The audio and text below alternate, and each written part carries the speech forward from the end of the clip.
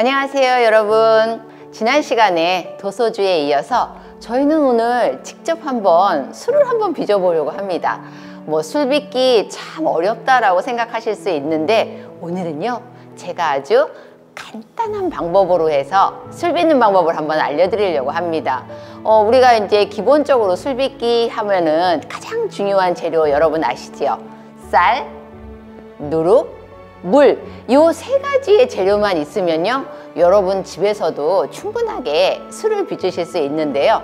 제가 오늘은 이 방법보다도 훨씬 더 간단하게 기존에 있는 어떠한 제품을 가지고 한번 간단하게 술을 한번 빚어보려고 하는데 그 첫 번째 준비물이 뭐냐 하면은요. 이 누룩이라고 하는 아이는 여러분 요즘에요 인터넷에 들어가시면 아주 쉽게 구입할 수 있고요. 가격도 되게 저렴합니다. 그래서 요거는 여러분들이 좀 인터넷 주문을 좀 하셔서 준비를 해 두셔야지 될 것 같고요.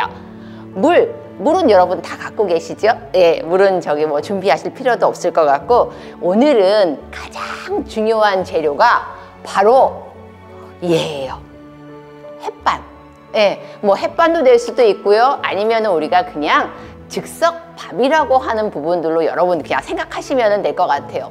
어머, 나는 즉석밥도 없는데 어떡하지? 라고 하면은 혹시 여러분 집에 냉장고에 이렇게 하얀 쌀로 빚은 밥이 있다 라고 하면은 이걸로 하셔도 돼요. 그래서 오늘은 정말로 간단하게 쉽게 할 수 있는 방법을 알려드릴 거고요. 그래서 뭐 도구라던가 이런 것도 많이 필요 없어요. 그냥 집에서 한 번도 반찬이라든가 이런 것들을 담지 않은 이런 그릇만 있으면 여러분 됩니다. 물론 예로도 빚을 수도 있기는 하지만 저는 오늘 설거지 하기도 너무 귀찮다 그러면은 이렇게 그냥 네모나턴 동그랗던 상관없이 그냥 이렇게 투명한 용기 하나만 준비하시면 될 것 같아요 우리가 술을 빚으면서 가장 중심으로 보는 게 바로 이 쌀인데요. 깨끗하게 씻어서 불려서 만두나 떡 찌는 것처럼 증기로 찐 거를 우리는 고두밥이라고 하거든요. 그럴 경우에는 그냥 누룩하고 물하고 하는 것만 세 가지 재료만 혼합해서 하면 술이 되는데 아무래도 오늘은 밥을 이용해서 술을 빚다 보니까 밥으로 술을 빚을 때는 딱 여러분 이것만 생각하세요.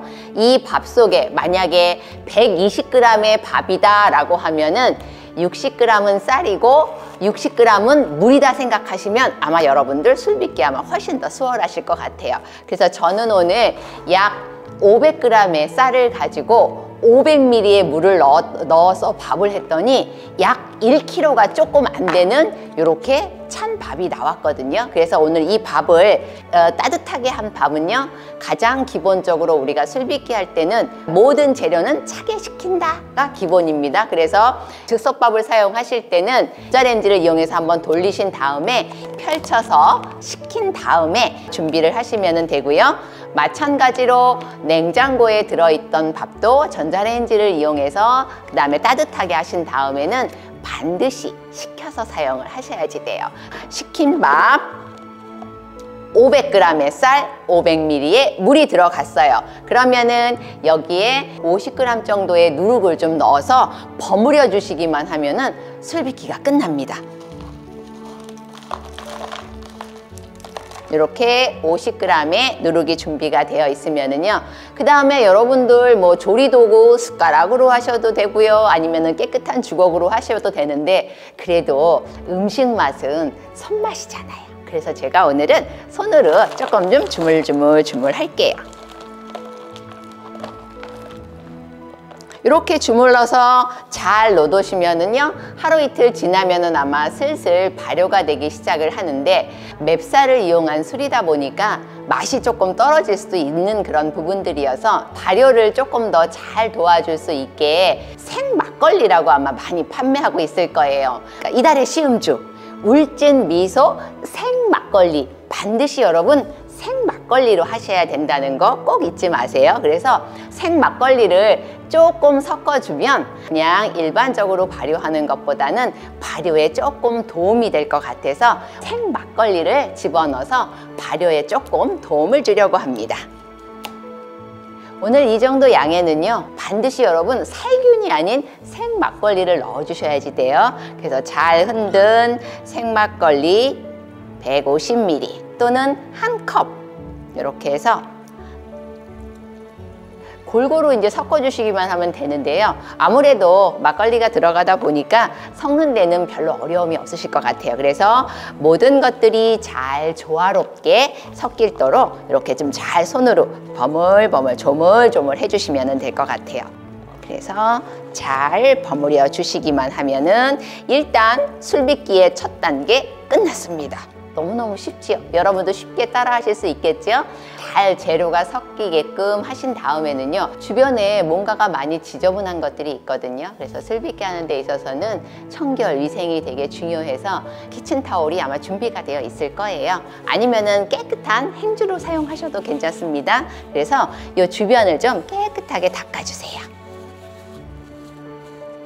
아니면은 혹시 여러분 댁에 어, 먹다 남은 소주가 있다라고 하면은요 소주에 이렇게 살짝 좀 묻히셔서 이렇게 좀 더 더 닦아주셔도 상관없습니다. 이렇게 하신 다음에는요 이제는 뚜껑을 덮어서 발효를 시키시면 되는데요. 어, 여기서 가장 중요한 포인트는 뭐냐 하면은 잘 버무리신 다음에 첫째 날, 둘째 날, 셋째 날, 3일만 여러분들이 신경만 좀 잘 써주시면은요 아주 맛있는 술을 빚으실 수가 있습니다. 발효가 잘 될 수 있게끔 도와주기 위해서 하루에 한두 번 정도만 이렇게 시간을 조금 정해 놓으시고요. 이렇게 해서 깨끗한 손이나 아니면은 도구를 이용해서 이 술 전체를 좀 골고루 골고루 섞어주세요. 이렇게 해야지만이 당화라고 하는 과정이 조금 빨리 진행이 되고요. 당화가 잘 진행이 되면은 자연적으로 술이 좀 잘 발효가 되거든요. 그래서 요거 3일만 여러분들이 기억해 주시면 되고요. 또 하나 중요한 거는 발효가 끝날 때까지 온도 변화가 극심한 곳만 아니면은요 아주 발효가 잘 될 거예요. 그래서 어, 여러분 댁에 있는 식탁 위라든가 이런 데다 놓으시면서 발효되는 과정도 한번 식구들하고 같이 한번 즐겨 보시면 좋고요. 또 하나 발효되면서 아주 향긋한 냄새가 나기 시작을 하거든요. 그러면은 왠지 모르게 조금 뿌듯한 생각이 드실 거예요. 내 손으로 빚은 술이다 라고 하는 자부심을 가지실 수 있을 것 같아서 여러분들이 이렇게 버무려서 3일 정도만 하루에 두 번 정도만 이렇게 저어 주시면은요 아주 맛있는 술이 완성이 된다 라고 보시면 돼요.